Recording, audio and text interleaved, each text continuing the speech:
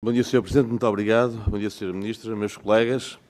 Muito rapidamente, apenas uma pergunta que tem muito a ver com aquilo que foi aqui dito pela Sra. Ministra e eh, respondendo também ao Sr. Deputado um, João Nicolau sobre a bondade das políticas, essas matérias, como disse a Sra. Ministra, vão ser faladas a seguir e, portanto, não vale a pena estar agora a abordá-las, porque eu também discordo e o PSD discorda claramente desse sucesso que aqui procurou uh, passar. Mas há uma questão que me preocupa e que foi aqui dito pela Sra. Ministra. A Ministra disse a certa altura, a escolha de Carla Alves sobre ela.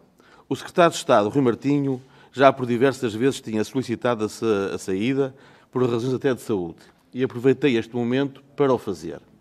Disse mais, estamos no novo ciclo de, de programação, o que é verdade, estamos com o PEPAC que se iniciou agora hum, em janeiro deste ano, ainda não temos a regulamentação cá fora, que era devida, devia estar pronta antes de, de, uh, até ao final de dezembro de 2022. E depois outra coisa, estamos numa situação de crise social e económica.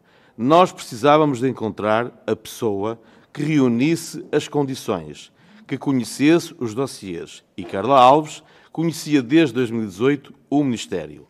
E depois acrescentou numa segunda ronda, precisava de alguém que me pudesse ajudar tecnicamente. Ora, a pergunta que eu faço é a seguinte, Passaram cerca de duas semanas sobre a demissão da senhora Secretária de Estado da Agricultura, Carla Alves.